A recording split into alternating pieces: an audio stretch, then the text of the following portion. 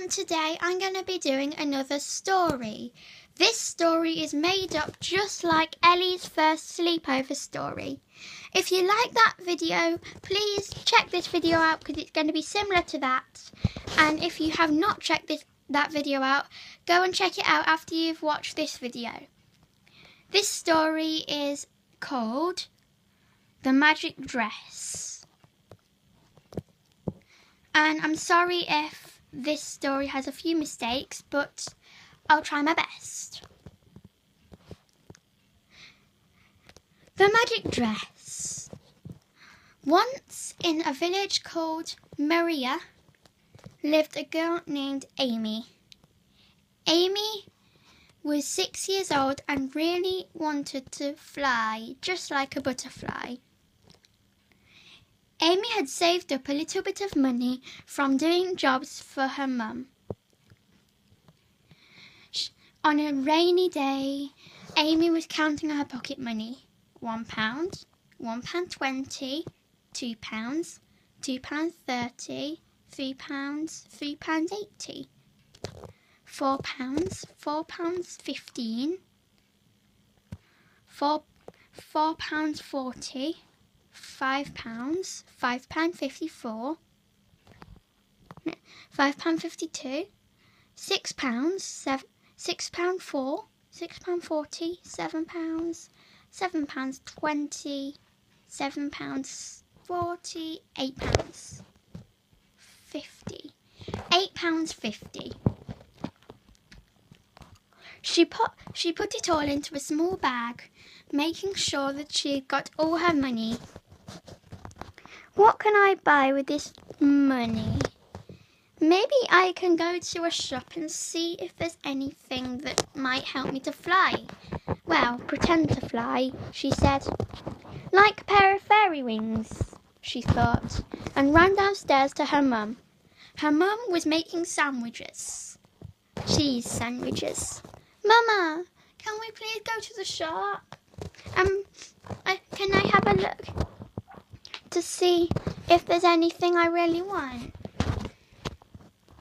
and that I like? She, she asked. Okay, darling, when we've had our dinner. The few twenty minutes later, Amy and her mum were outside in the shops. Emily, Amy found a dress. It said portion flying. It was seven pounds. It was seven pounds forty three. Mum, this is what I like.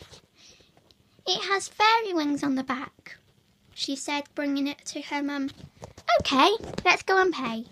Her mum had picked up a few things too, like three packets of sweeties, a hairbrush, and a small bit of a small notebook.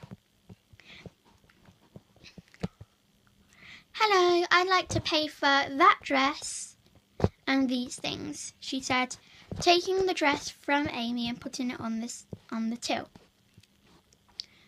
There you go, said the nice young lady in a black skirt and some red and a red top.